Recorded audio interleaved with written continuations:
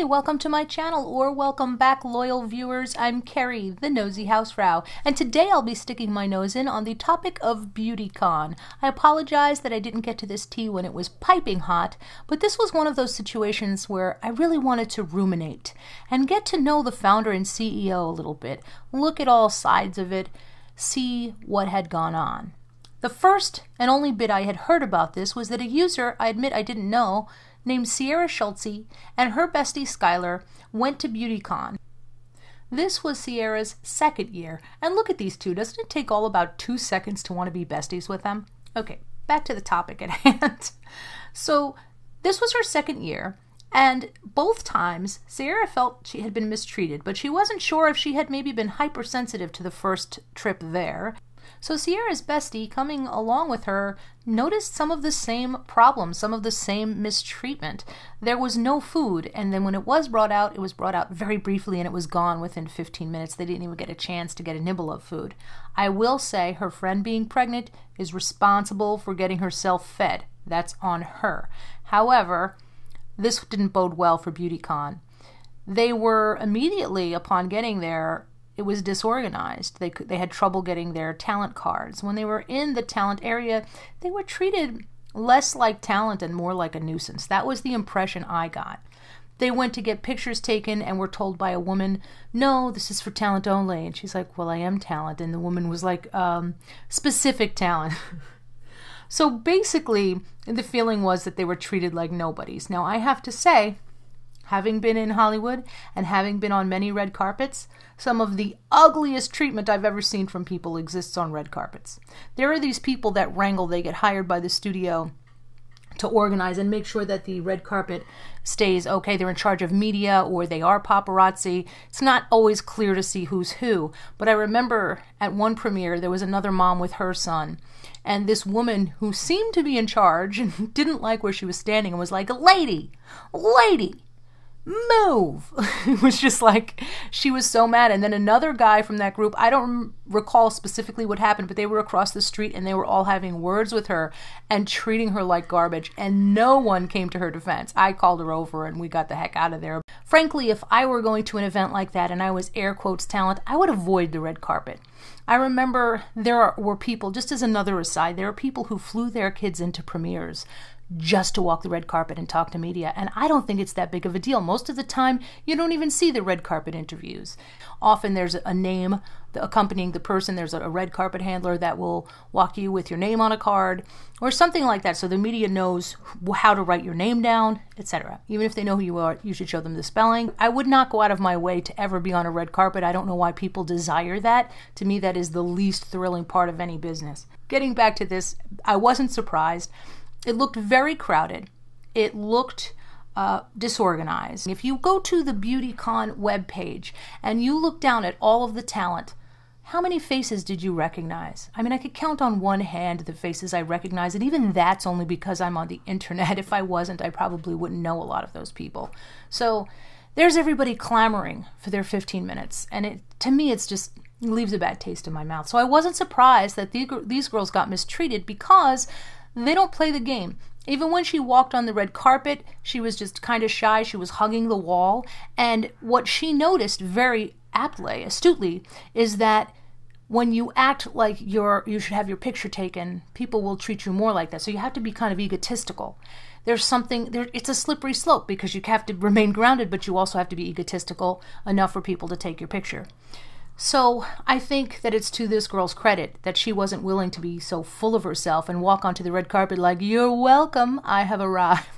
So she was a little shy. And then the handler was very low energy and like walked her over to the media that was like, okay, uh, I'll ask you a question or two or whatever. She didn't even do that right because the handler could have said, oh, this is um, Sierra Schultzzie. You're going to want to talk to her. She's got almost a million subscribers on YouTube, 137,000 followers on Instagram. You want to talk to her before her star rises too much.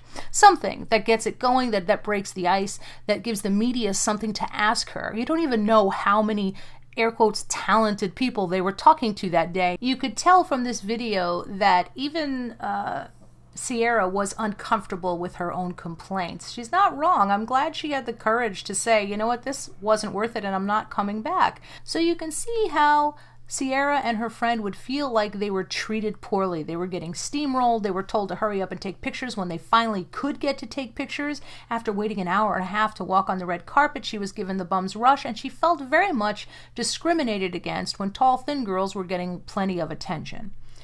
This is where the founder and CEO comes in. Meet Moj Mahdara. She is not a beauty person, she is a business person.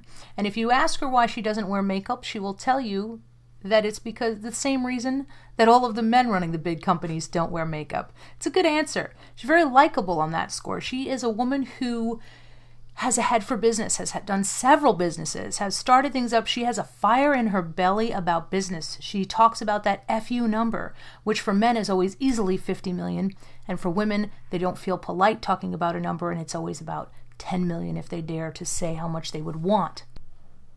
Moj Mahdara was born in Kentucky, raised in California. She is Iranian. She is a lesbian. She prides herself on being diverse. She eats, sleeps, and breathes business. And she has that FU number in her head. And I have a feeling when she gets there, she'll want to exceed it. She has an amazing ambition and she's very great about inclusivity. The problem is, I believe she made a huge mistake when it comes to BeautyCon. I believe she was very much immersed in the success aspect of it and overlooked a human aspect. And that's where it runs into problems, and it has more than once. When Sierra said that she felt discriminated against, I think that triggered Moj because she has faced prejudice. She has overcome a world where she's had to fight as a woman in business and to be a, a, lesbian, which her mother refers to still as her situation. She was so triggered by what Sierra had said that she made it about herself and her own struggles and not about business. That doesn't seem right to me because everything else is about business. She sat with a group of her workers around her employer's staff and said, You will not call us non inclusive. You will not say we discriminate. This is where I think she made a huge mistake.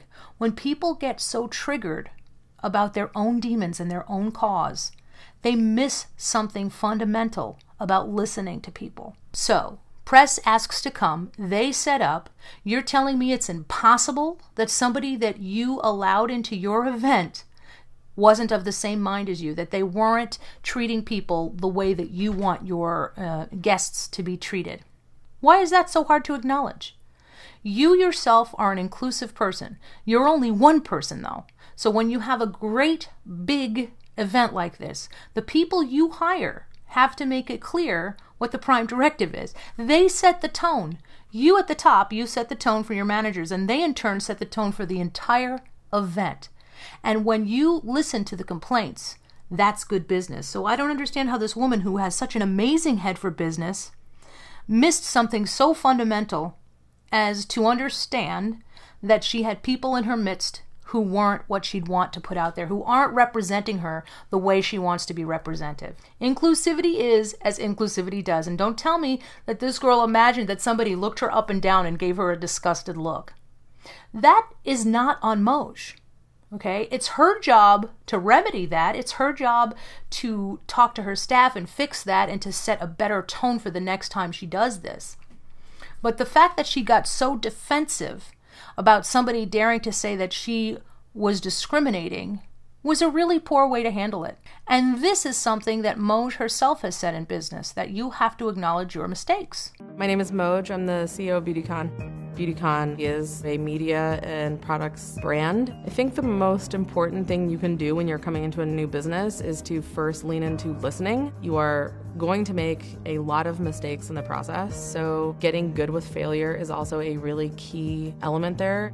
No one's ever going to remember all the things that you tried and failed. They're going to only remember those big wins you have to create a culture around you that allows for mistakes. And I think as long as you're actively learning and listening, you have a chance to accomplish the things that you're trying to accomplish. So now listening to that, I really hope that Moj would acknowledge that there are certain things beyond her control. There is this desire that she has to have BeautyCon be this success that is all inclusive to everyone. And that is admirable. But when you have somebody that you invited and they had a bad time, it wouldn't be so difficult to look at what they faced and remove yourself from it and say, that did happen, and we need to make sure it doesn't happen again. Two years in a row, a person gets treated like garbage. She's not imagining it. So it's your job as the CEO to make sure that the people who work for you are representing you the way you want to be. I understand being hurt that you're somebody who goes so far out of your way to make sure that everybody feels included. To, to make sure that women have the same opportunities as men, to build your brand on being inclusive to everyone. That is wonderful. So, to feel that somebody has said that about you and your company, I could see how that would be triggering. But rather than just getting triggered, I feel like you should have taken a step back and said, How is it that my inclusive company came across in a discriminatory way because of one or two people. Unfortunately, your reputation is only as good as your weakest link. So I would do some reevaluating. I would give some sensitivity training to my staff, and I would make sure that the people around me can be trusted to make sure that the other people who are hired and the other people who are running the show are following that same mentality that you think your company is about, that they are representing you in a proper way. Please do not tell me that you don't know that the media can be ugly to people. Don't tell me that you don't know that these girls, their experience was real. You can do better. So instead of getting defensive and saying, I don't discriminate, see the bigger picture.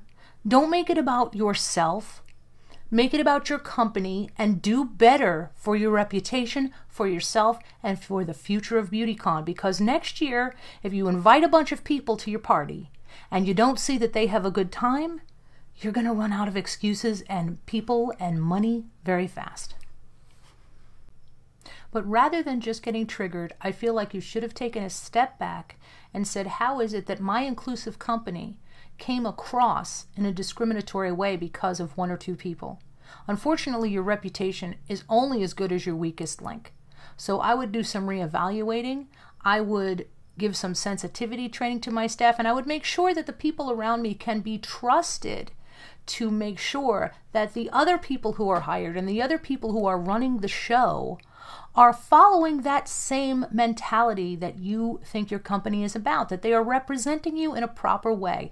Please do not tell me that you don't know that the media can be ugly to people. Don't tell me that you don't know that these girls, their experience was real. You can do better. Well, if you've listened this far, I so appreciate you. I'm sorry I didn't bring too much funny on this one, but I won't run out of funny. Please do consider liking, subscribing, and hitting the notification bell, telling your friends about us, and maybe even becoming a patron saint of Patreon now that Patreon has joined forces with Vimeo, and I did get a Vimeo account. Vimeo? Vimeo? Potato, potato. You can join me there where I will do exclusive after shows, uploads, and live streams, and you really do help support this channel, which always gets Count de Monade, if you know what I mean. Thank you so much, and I will see you next time. Hausfrau out.